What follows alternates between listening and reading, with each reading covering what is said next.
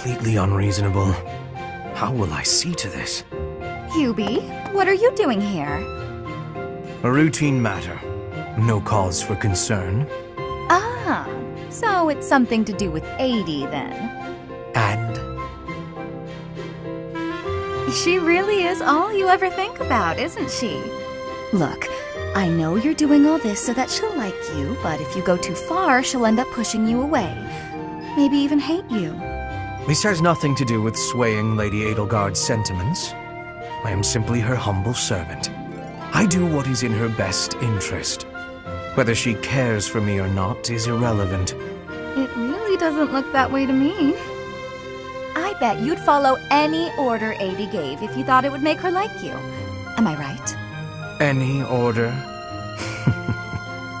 what a thing to suggest. But the answer is no. I will decline any directive that I deem would not be beneficial to her. Is that right? So, just for example, if Edie commanded you to find yourself a suitable wife, would you do it? If it would benefit her in some way for me to marry, then yes, I would marry. Hmm, it's easy to say that now with no bridal party in sight. But if it was the day of the wedding? Nah, I don't believe that. I don't care what you believe. My only wish is to see Lady Edelgard fulfill her ambitions. All other matters pale in comparison. Hubie, pale in comparison? You've seen too many operas. I don't think you understand how the world works. At all. And I don't care what you think either. I would make any sacrifice to support Lady Edelgard. It's a shame you've never experienced such devotion. You're right. I don't have anyone like that right now. But maybe someday I will. Then maybe someday you'll understand.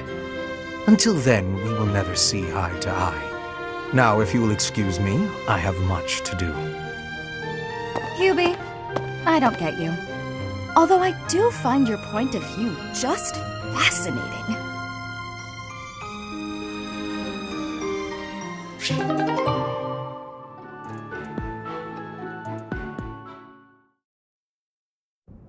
Hey there, Hubie. I've been thinking about our conversation the other day, and I've just got to know do you really love Edie? If it's one or the other, I suppose it would be closer to love than to hate. Why? Ah, I knew it! That's why you work so hard for Edie. Oh, Hubie, I finally get you. You're just another servant suffering from unrequited love for their mistress. You completely misunderstand. Unrequited love. Do I really look like the kind of drooling simpleton to have that kind of motivation? I'd like to say yes, but I know you just argue. Fine, Hubie, tell me your situation. My situation is simple. I am walking a path. Oh, do go on. Everyone has a path in life.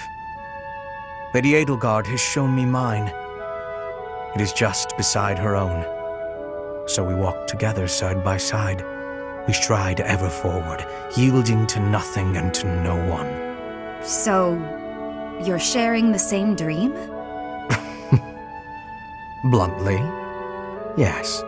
But it's more than just a shared dream. I have many feelings toward Lady Edelgard. Gratitude, respect, awe, empathy, trust, hope. Okay. I was teasing you, but I gotta say I'm just a little bit jealous of you and Edie.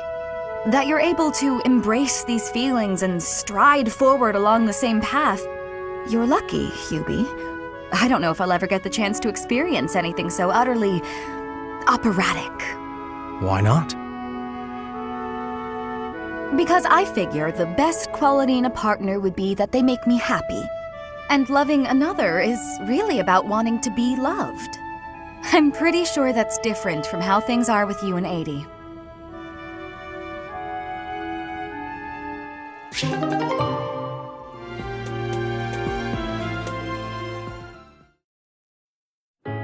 Hubie, I've been thinking. What's this all about now? It's about what you said before. about your path. You mean the path that Lady Edelgard and I walk? I guess I don't really understand that kind of thing since I've always been focused on my own goals. But you, Edie, Professor, all of you are fighting for an ideal. That's big. It touches everyone. Then there's me, with my hands full thinking of just myself. One person seems enough to me. Hmm. Maybe you're right. Do you have something more to say, Dorothea? It is unlike you to seem so uncertain. I guess so. I'm sorry, Hubie. It's just, I've been thinking a lot lately about whether Edie might command you to marry me. What? Perhaps Edie might command you. No need to repeat it. I heard you quite clearly. Like I said, my hands are full thinking of just one person. But if you and I were devoted to one another, maybe we could strive for the future you believe in. Maybe I'd finally understand your path and be able to think about more than just myself. Seems it's my turn to not understand. Did you just propose marriage as a way to get to know me? How exactly would such an arrangement benefit me? Oh, it'll benefit you. Go on. Well, this path you're walking with Edie will have one more loyal follower. Isn't that enough? I suppose it may well be. Your contribution to our cause has been noteworthy. I've no complaints about your battle prowess either.